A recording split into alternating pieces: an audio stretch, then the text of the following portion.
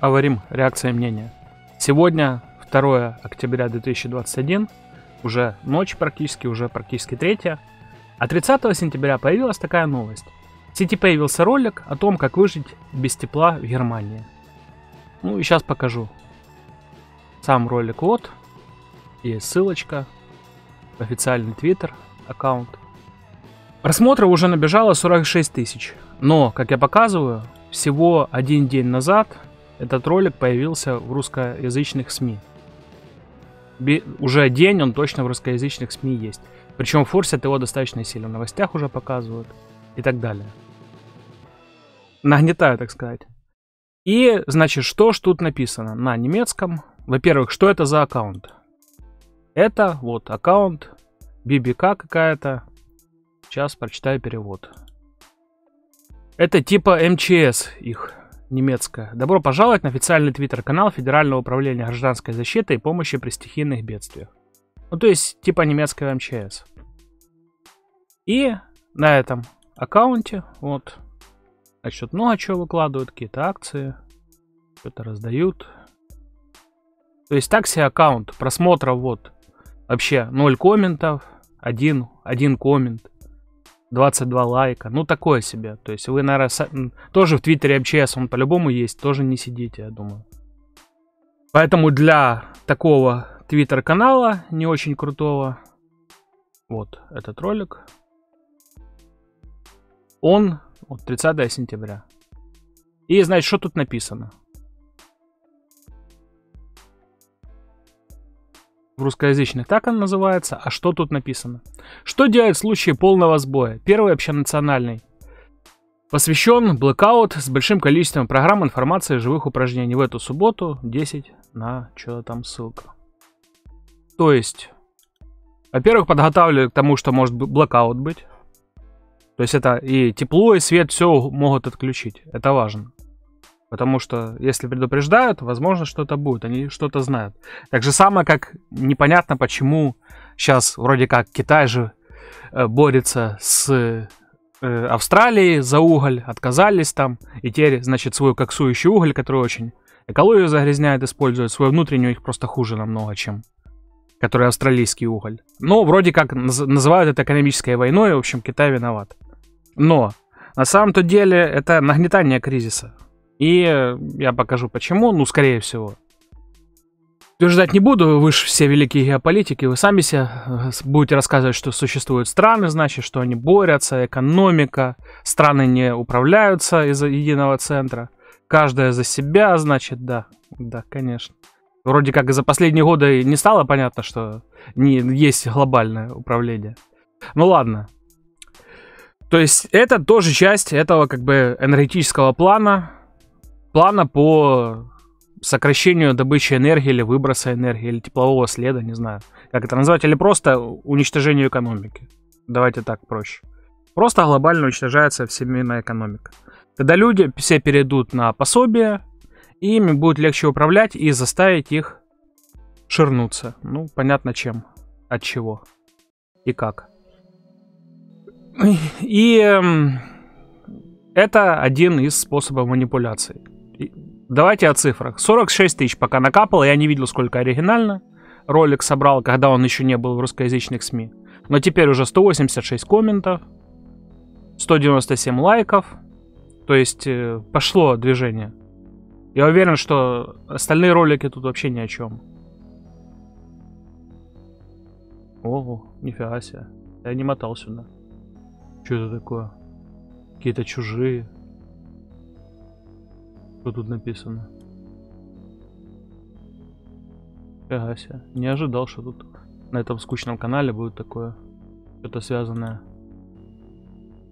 Не забывайте включить Twitter канал. А, мы представляем новую кампанию for Prepared на тему самозащита в прямом эфире. Если во время стрима у вас возникнут какие-то вопросы, компании, понятно. То есть они еще и прямые эфиры проводят. Ну, во-первых, опять же, как у любого МЧС, Напоминаю, у всех МЧС есть обязательно треугольничек, глазик, как сказать. Ну, пирамидка, в общем, у всех МЧС, посмотрите, Россия, Украина, Беларусь, Казахстана. Вот, оказывается, и тут у них тоже чистая лого вообще. Пирамидка масонская. Вообще 0 комментов, 6 ретвитов, 23 лайка. Офигеть, много как. То есть эти стримы всем очень нужны, я смотрю. Очень прям нужны. Но что это такое? А? Что это такое? К чему готовы? Тарелки летающие, ну... Я ж не придумываю. Ага, требует регистрацию. Короче, не покажет небольшую картинку. Ну вот, ну тарелки летающие. Луна какая-то, он. Молнии. И прилетели вот такие захватчики. Значит. Офигеть.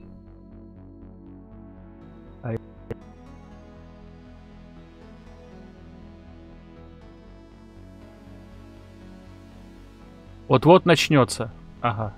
Но это как бы одновременно и нагнетают. Вот-вот начнется типа вот, вот эти вот прилетят. Проект Bluebeam или что-нибудь, или просто откроют личиду. С рептилоиды, которые скрываются, значит, просто прибудет человеческий облик. Как в фильме, напоминаю, обязательно посмотрите фильм 1988 года, в котором предсказали квадрокоптеры, тотальную слежку. Это «Чужие среди нас». The Life, The Live называется э, режиссера Карпентера, который снял «Нечто». Поэтому The Thing. Так что обязательно посмотрите, если не видели. Фильм того стоит. Про очки, которые выявляли инопланетных захватчиков. Которые давно уже среди нас. Так что... И также самому Медведеву, напоминаю, говорил. Документальный фильм «Люди в черном». Документальный фильм. И насчет Медведева мне забанили ролик, кстати, раз я уже вспомнил. Тут было не про это, я отвлекаюсь, но все равно. Значит, вот, Медведев иначе распространить болезнь будет просто невозможно, оговорочки по Фрейду, оговорка по Фрейду, в общем. Вот такое видео мне удалил YouTube. Без права апелляции. При том, что где там медицинская информация, если я просто процитировал Медведева. Понимаете, к чему я веду? Понимаете? То есть, э, правда скрывается. То есть, даже нельзя просто показать Медведева, который говорит оговорочку. Ну, а теперь уже, понятно, вначале начали с этого. А потом, слово, которое вообще нельзя называть. И вот это сочетание. Ну и вообще, бан слов очень много. Теперь половина комментов, которые мне пишут, не проходят. Я их вижу, как бы, но не до конца.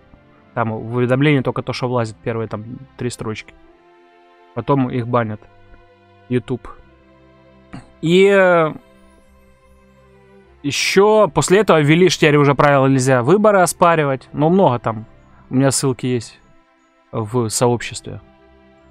Ну а теперь к ролику. Всего 46 тысяч. Завтра, наверное, будет 100 тысяч просмотров, потому что накидали все СМИ сюда ссылки. Но даже таким маленьким количеством уже как бы хайп поднялся не маленький, я так понимаю. В общем, сидит старушка, мерзнет. Звук не буду включать. Да и показывать не буду. Значит, создать вот такую установку, там свечку поставить, что-нибудь. Наверное, продаются даже такие установки. И греться. Много, конечно, не нагреешься, как турист, я не знаю. Это даже руки особо не согреешь такой фигней, но показывают, показывают, вот. И потом, значит, к ней приходит, я так понимаю, дочь с молодым человеком.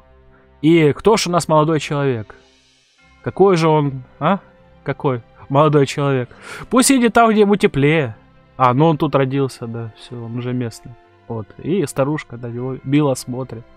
В общем, опять же, даже тут. Почему видно, что ролик немецкий? Это потому, что, значит, вот, что прививается.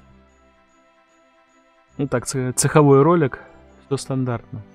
Ну, в общем, вот это такая способ, такой способ греть руки, это, конечно, полная. Только руки и согреешь, а спина, а ноги, ну, в общем, бред, но тем не менее, ладно. Ролик надо было выпустить, его выпустили, хайп подняли. А хайп в чем? Что значит Россия зажимает газ и так далее. Я хоть в Украине живу, но понимаю, что вот эта схема с покупки, как Украина покупает газ у абс- абсолютно любой страны по несколько раз завышенным тарифам, тот же российский, который идет через Украину, и покупаем, получается, тот газ, который через нас проходит. То есть это способ просто доить население. И управлять в том числе, потому что, напоминаю, ЖКХ не просто так дорожает, потому что, значит, экономика слабая и так далее. А в том плане ЖКХ это всегда процент от доходов населения. То есть, чем ты больше зарабатываешь, тем больше у тебя будет расти ЖКХ. Ну, к Украине и России это, наверное, неприменимо, но в развитых странах как раз контролируют э, оборот лишних денег как раз э, проблемами ЖКХ. То есть ты там треть все равно должен отдавать, что в развитой стране, что в неразвитой. Другое дело, что там относительно зарплаты ну, в развитых странах продукты дешевле, вот что важно. Поэтому у нас половина еще на продукты уходит, а то и, 6, а то и 60-70% дохода уходит на продукты. Остальное на ЖКХ и то, что осталось, если что-то осталось, то на одежду, там, на какие-то потребности. Но это я говорю про обычных работях, а не про бизнесменов и так далее, которые там выбирают машины себе и так далее. Ну и на ипотеку еще. Ну, учитывая, что в развитых странах ипотека под 2%, то о чем тут говорить? Или под 11%, там от страны зависит, оно еще и меняется. Ну и у нас Сравните у нас какие ипотеки, в общем, все понятно. Но ЖКХ в любом случае, в любой стране, это способ контроля. Это один из основных способов контроля населения. Именно чтобы оно не откладывало лишние деньги.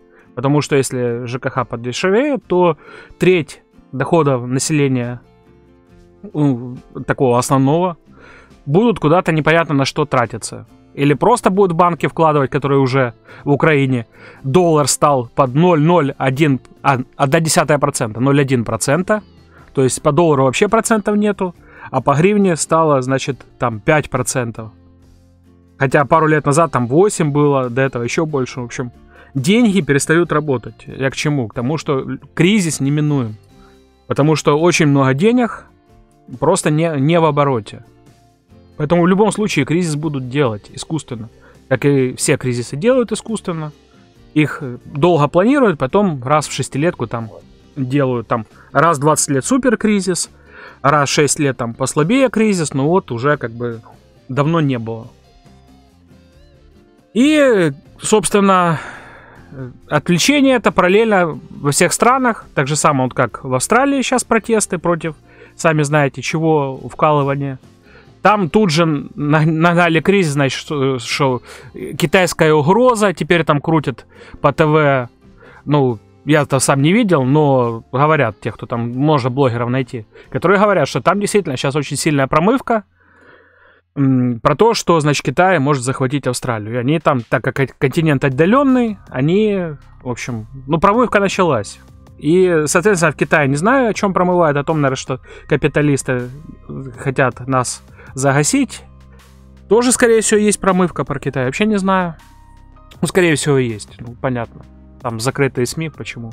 Австралия, хоть вроде как открытая страна, такие же самые закрытые СМИ, не фи, фиг какие новости прочитаешь, кроме того, что там э, кенгуру где-то проскакала, а вот именно по протесты, какие-то отдельные видео появляются, причем очень плохого качества, непонятно, где, что, как. И все там такие уровня ТикТок, 3 минуты там максимум а то и по 15 секунд. Вот, смотрите, это протест.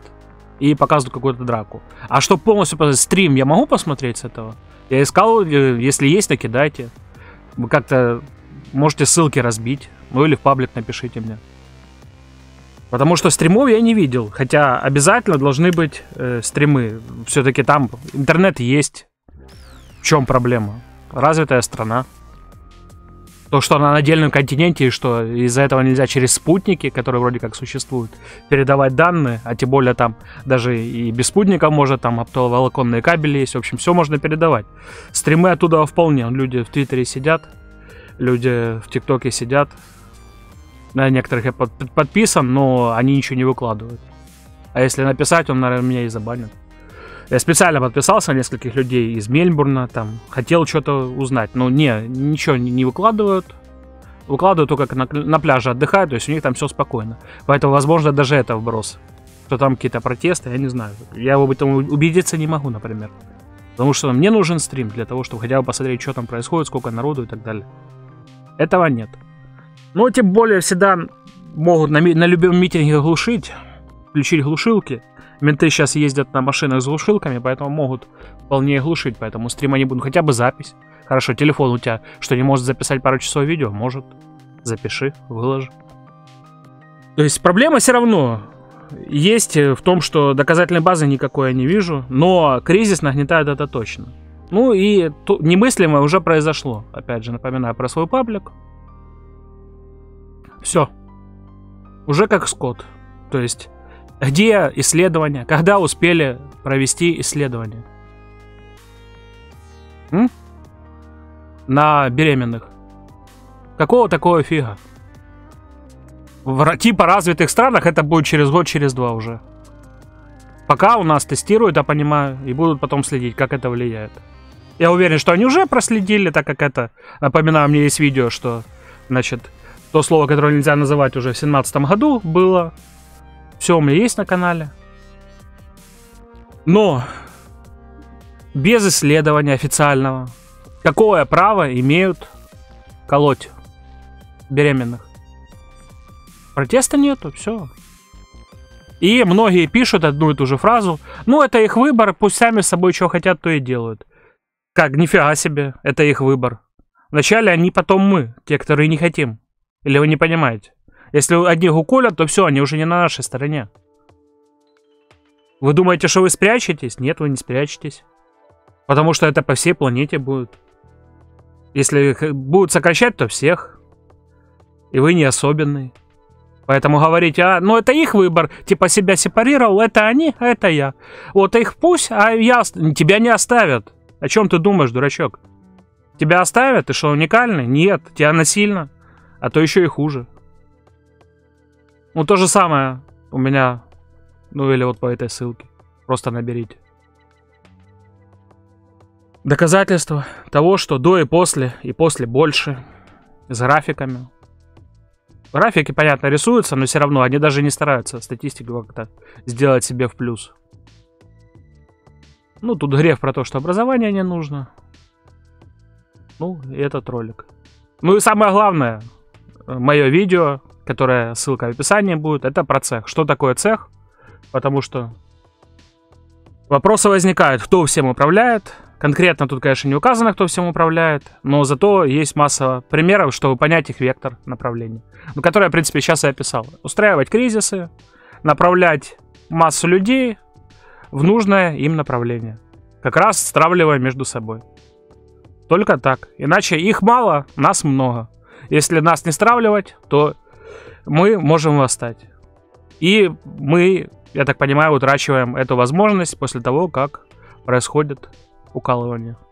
Потому что я считаю, что это приведет к бесплодию у тех детей, которые родятся у уколотых. То есть этот будет всплывет только через 15 лет. Ну, когда там первые начнут залетать. И то скажут молодые. То есть через 15-20 лет только это может всплыть. Это очень большой срок. За это время нам что угодно можно сделать. Они могут куда угодно улететь на этот момент. Тут, когда люди... Представляете, что начнется какой апокалипсис? Вот как фильмы про зомби показывают. Э, когда люди... Одни бесплодны. То есть и дети бесплодны. Ну ладно. Ребенка сейчас вот зачали, родили. Это видно, если будет повально. И то уже есть проблемы. Есть уже видео, как, значит, у детей осложнения, всякие аллергии. Но это такое. Это можно приписать.